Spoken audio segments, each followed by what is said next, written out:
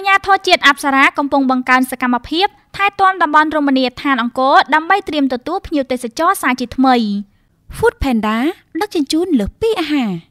បន្ទាប់ពីរាជរដ្ឋាភិបាលកម្ពុជាសម្រេចឲ្យបើកដំណើរការទេសចរឡើងវិញនោះក្រុមការងារភ្នាក់ងារទេសចរនៃអាជ្ញាធរជាតិអប្សរាបាននឹងកំពុងតែមមាញឹកក្នុងការរៀបចំសណ្ដាប់ធ្នាប់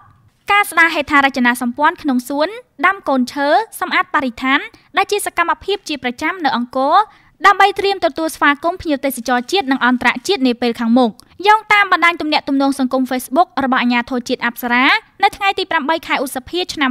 2021បានបញ្ជាក់ថាដោយឡែកក្រុមការងារភ្នាក់ងារទេសចរដែលនៅប្រចាំការតាមប្រាសាទក្នុងការណែនាំភ្ញៀវសម្របសម្រួលបញ្ហាផ្សេងៗ នៅបន្តបំពេញការងាររបស់ខ្លួនតាមប្រក្រតី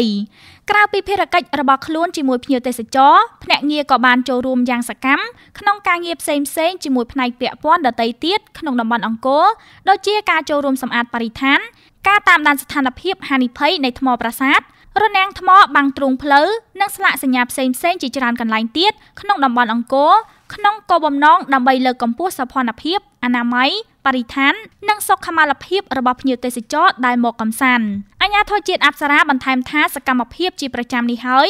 ដែលធ្វើឲ្យរមណីយដ្ឋានអង្គរនៅតែរក្សាបាននូវភាពស្អាតគង់វង្សយូរអង្វែងជាពិសេសតាមរយៈការស្ដារហេដ្ឋារចនាសម្ព័ន្ធនិងការរៀបចំសួនជាដើមកាន់តែបន្ថែមសម្រស់ដល់រមណីយដ្ឋានអង្គរ Vychem ជាក្រុមហ៊ុនផ្ដល់សេវាអ៊ីនធឺណិតឈានមុខគេនៅកម្ពុជា Food Panda ដឹកជញ្ជូនលើសពីអាហារមេកុងឡែនផ្ដើមជីវិតជោគជ័យនិងរីករាយនៅទីនេះ